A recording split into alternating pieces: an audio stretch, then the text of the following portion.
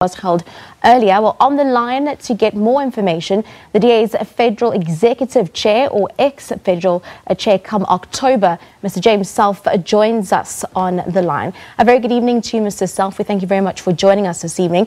Essentially, have you been asked to leave or did you step down from your position of Federal Executive Chair voluntarily? I stepped down voluntarily. I have been 19 and a bit years in the job. Uh, that's been a very long time. The job is very hard. Uh, it demands a lot of time. Uh, and I have decided to uh, take up a new challenge, which is to help steer our government to greater success.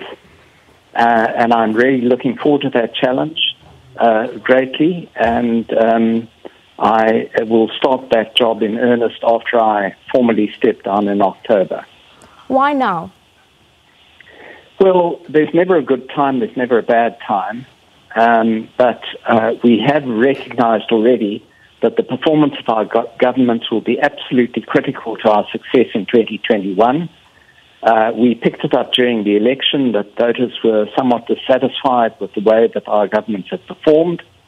And my job is to ensure that they deliver, they deliver according to our manifesto, they communicate their delivery, and that they work in synergy with the party. Now, in talk of trying to possibly exert more control behind the scenes per se, how influential is your new role to that of being federal chair executive? Well, uh, my job in the federal executive was really to manage the day-to-day operations of the party.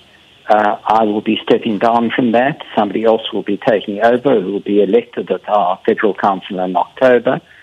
Um, and my role will now simply be confined to interacting with our governments and making sure that they perform optimally.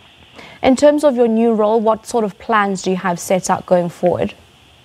Well, we would like to be in more regular contact with our mayors, with our mayoral committee members, with our caucuses, to make sure that they understand what the, their mission is, to make sure that they are geared to deliver at every opportunity, to make sure that they communicate with the public so that the public know exactly what they can deliver on and if they can't deliver, what the impediments to delivery are.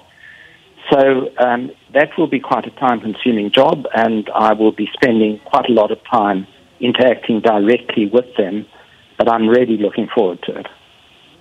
Now, what's the importance of this, and what do you think new you could be bringing to this role?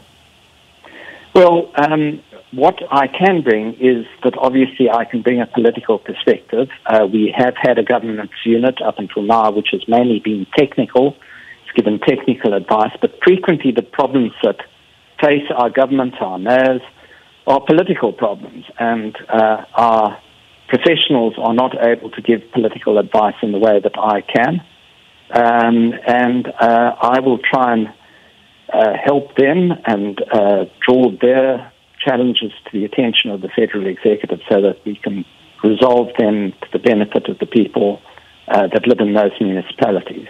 Are you at liberty to give more details as to who would be possibly taking your position as the federal executive chair? Well, um, I simply don't know. It's an elected position. Uh, people are free to nominate themselves, and I, I'm sure that the process will result in a very good uh, success of being elected. Thank you very much for joining us this evening. That was DA's